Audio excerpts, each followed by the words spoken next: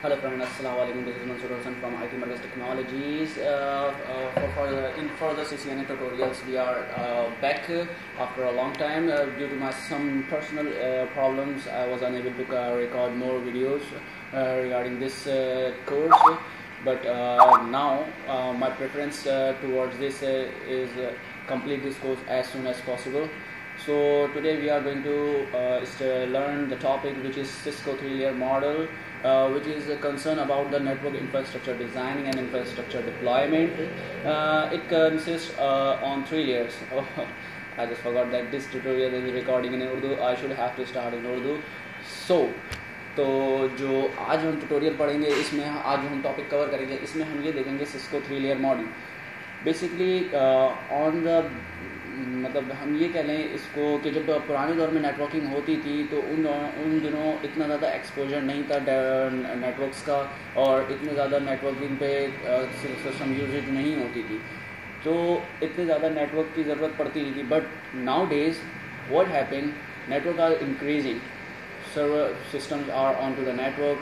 Everything is moving to uh, within the network across the network. तो होता क्या अब हो क्या रहा है कि अब इश्यूज़ क्या आ रहे हैं नेटवर्क्स में कि नेटवर्क के जो डाटा ट्रांसमिशन हो रही है, उसमें कंजेशन आ रही है। क्यों? क्योंकि ट्रैफ़िक बढ़ गया है डिवाइसेस उस आर्किटेक्चर में नहीं लगी हुई। जो आर्किटेक्चर है बेसिकली जो हम सिस्को थ्री लेयर मॉडल है, ये मतलब इसको हम कहते हैं नेटवर्क डिज़ाइनिंग मॉडल या नेटवर्क इंफ्रास्ट्रक्चर डिज़ाइनिंग मॉडल तो इस इस जो सिस्को के जो नेटवर्क डिज़ाइनर थे, उन्होंने इस प्रॉब्लम से ओवरकम आने के लिए ये डिज़ाइन किया कि सिस्को का एक आयरारिकल मॉडल डिफाइन कर दिया, जो कि इंटर नेटवर्क नेटवर्क को सिंप्लीफाई करता था उनके टास्क उनकी बिल्डिंग उनके रिलायबल और स्केलेबिलिटी और एक्सपेंसिव के एक्सपेंसिव बेस के हिसाब से। कि किस लेयर पे मतलब किस पोजीशन पे किस तरह की डिवाइसेस लगी हों, कहाँ पे कितना डाटा ट्रैवल हो रहा है, ये सब नेटवर्क की ज्वाइनिंग नेटवर्क की एक्सपेंशन नेटवर्क की राउटिंग ये सब डिफाइन करा उन्होंने इन तीन लेयर्स में।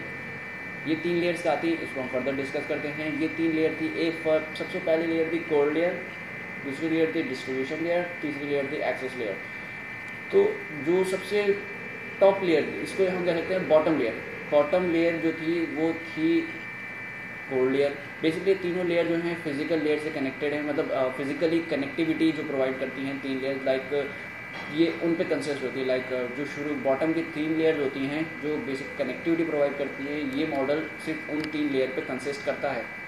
तो जो कोर लेयर है, इसमें भी वही तीन लेयर्स के ही डिवाइसेस यूज़ होती हैं लेयर थ्री डिवाइसेस यूज़ होती हैं और लेयर टू डिवाइसेस यहाँ पे हम वो डिवाइसेस यूज़ करते हैं जो आपके यूज़र का डाटा इंटरनेट के ऊपर लेके जाती हैं, या वो डिवाइसेस जो नेटिंग की रिस्पॉन्सिबल होती हैं, वो डिवाइसेस इस एरिया में यूज़ की जाती हैं।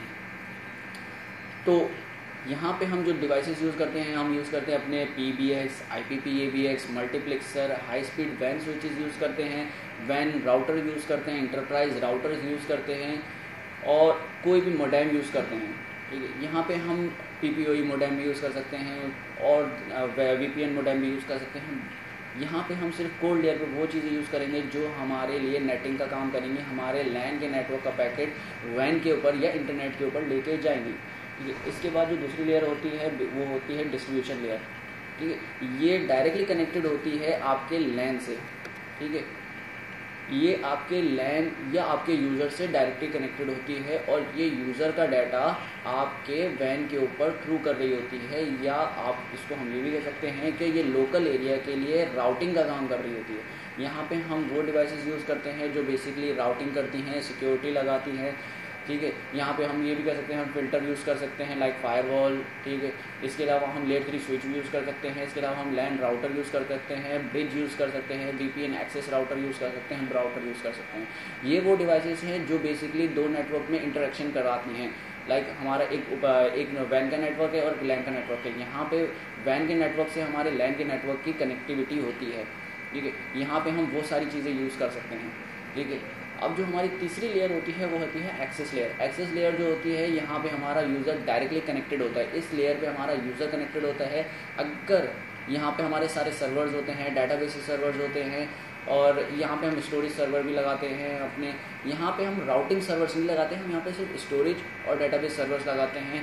लाइक आपका वेब का सर्वर हो गया एफटीपी सर्वर हो गया ईमेल सर्वर हो गया डेटाबेस सर्वर हो गया, ठीक है? अगर हम इस लेयर पे एक्सपेंशन चाहते हैं तो जो हम डिवाइसेस यूज़ करते हैं, उनको हम कहते हैं रिपीटर्स और हब्स क्योंकि ये दो डम डिवाइसेस हैं, इस लेयर पे हमें कोई राउटिंग नहीं करनी, कोई सिक्योरिटी नहीं लगानी। तो यहाँ पे अगर हम नेटवर्क एक्सपेंशन चाहते हैं तो हम ये दो डिवाइसेस यूज़ कर सकते हैं। So as far as I concern हमने सिस्को थ्री लेयर मॉडल को काफ़ी डीपली डिस्कस कर लिया है, बहुत ही रैपिडली सो फर्दर डिटेल के लिए फर्दर टॉपिक के लिए हम आएँगे नेक्स्ट ट्यूटोरियल में। टिल देन सी यू अल्लाह हाफिज़